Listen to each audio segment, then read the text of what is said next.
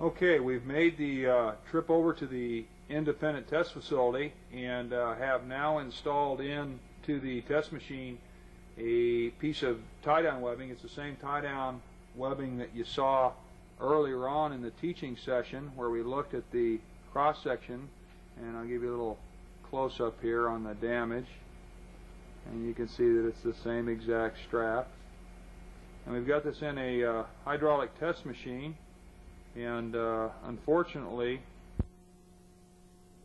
I can't uh, pan both the uh, gauge and the sling at the same time so I'm going to stay focused on the sling and have the uh, test technician call out the values of test as we approach uh, break and I'll try and focus in on the uh, areas of degradation. I have no idea which end is going to go first.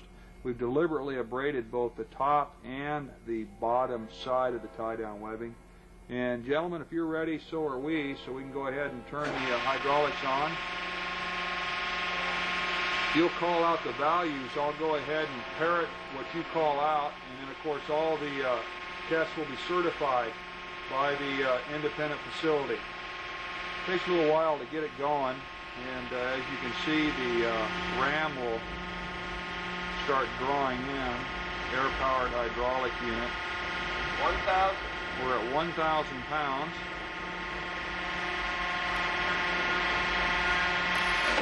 One thousand, and it looks like we're going. What do we get to, Frank? 1,900 pounds. About 1,900 pounds. We can go ahead and stop the hydraulics. That went awful quick, and you can see that we had a total separation. And uh, surprisingly enough, the end that uh, I didn't think was going to go went first.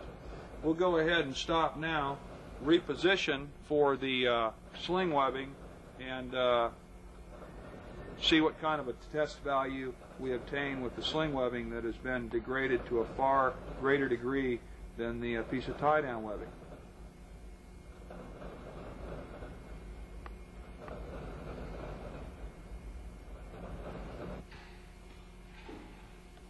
We've uh, reinserted the uh, equivalently strong sling into the test machine. I was a little bit surprised by the uh, almost instantaneous break on the tie down.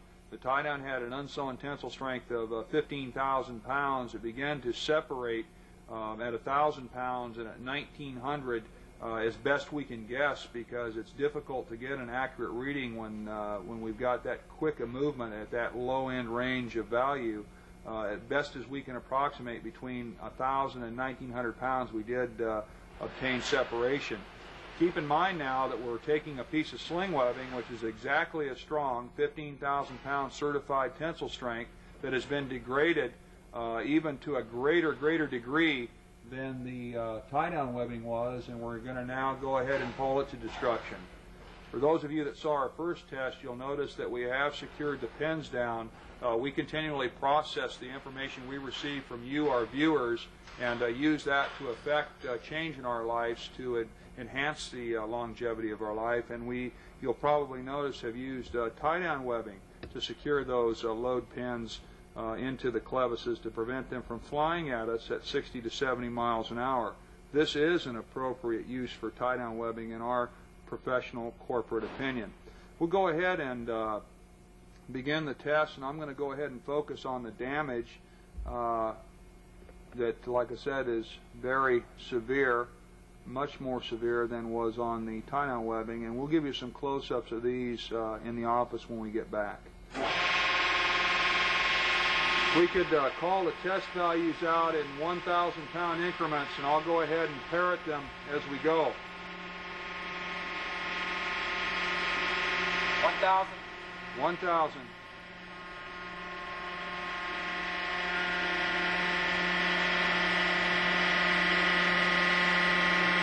Two thousand. 2,000. Really starting to stretch.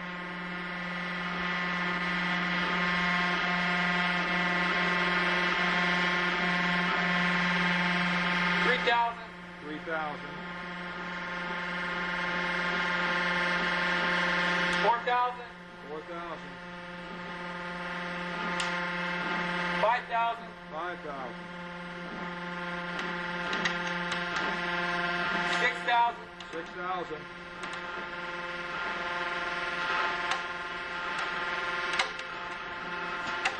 Seven thousand.